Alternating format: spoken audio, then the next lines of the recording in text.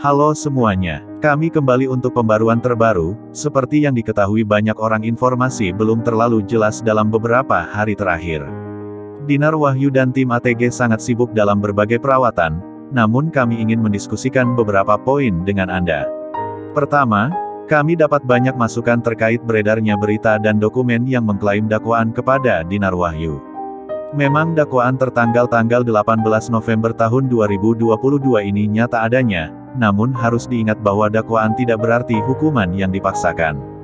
Beberapa anggota pendiri ATG telah dan kemudian dibebaskan, karena itu perlu untuk memoderasi dalam satu arah seperti dakwaan lainnya, saat ini tidak ada yang kritis. Kedua, mengenai V3 mari kita mulai kontekstualisasi ulang, kami saat ini ada dua tim di V3, kami telah menvalidasi KYC kami serta telah menambahkan alamat dompet USDT TRC20 dan MT4 masih di V2. Ketiga, pemeliharaan baru tampaknya memblokir akses ke situs Pantera V2, segalanya tampak kembali normal seperti sekarang. Ketahuilah bahwa V3 tetap dapat diakses selama pemeliharaan V2 saat ini. Karena itu kami melihatnya sebagai sinyal positif dan mengharapkan pengembalian dari tim ATG yang lebih tepat, kami memperbaharui perpindahan antara ATG dan ATC selama berminggu-minggu potensi migrasi berikutnya. Keempat, mengenai Lego Coin, kami tidak memiliki informasi mengenai perannya dalam ekosistem ATG yang berlaku untuk non-Indonesia. Jika situasi ini berubah, kami akan memberitahu Anda, tetapi perlu diketahui bahwa sangat penting untuk berjuang agar penarikan bisa dalam USDT. Saluran dicadangkan untuk informasi dari pertemuan dengan para pemimpin ATG, dibuat atas permintaan mereka, untuk Indonesia.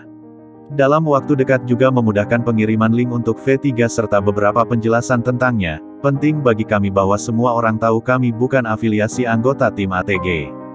Moderator, serta orang-orang yang benar-benar termotivasi dan yang terpenting percaya pada masa depan ATG untuk memfasilitasi pelaporan masalah tertentu yang dihadapi atau jawaban yang lebih teknis. Komunikasi melalui email resmi ditangguhkan karena situasi yang tidak memungkinkan untuk berlanjut saat ini. Para pemimpin ATG ingin memasuki V3, tapi member tidak tertarik untuk pergi itu saat ini, di V3 saat ini tidak ada penarikan, tidak ada setoran, tidak ada akses ke akun MT4 atau perdagangan. Tautan V3 tidak dapat digunakan karena memerlukan persetujuan manual untuk terhubung. Kami dapat meyakinkan Anda bahwa situs tersebut luar biasa dirancang dengan sangat baik dan diselesaikan dengan baik. Satu poin penting situs mengenali pengidentifikasian.